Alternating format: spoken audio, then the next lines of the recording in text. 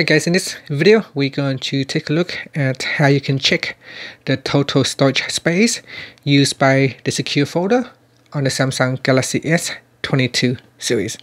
First tap on the home button to go back to the home screen and on the home screen swipe up to go into the app screen. In here, open up the Samsung folder, then tap on My Files.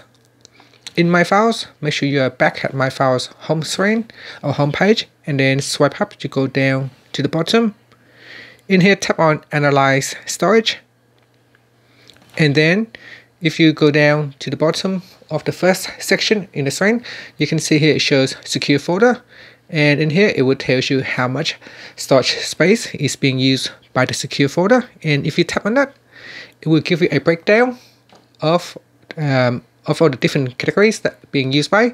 So in here we've got images, videos. So videos has used up 888 megabytes. And then you've got audio files, documents, installation files, and so on.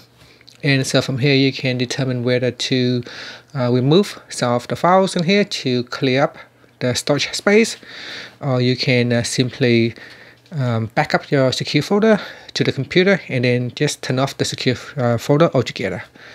Finally, you can tap on the home button to go back to the home screen. Thank you for watching this video.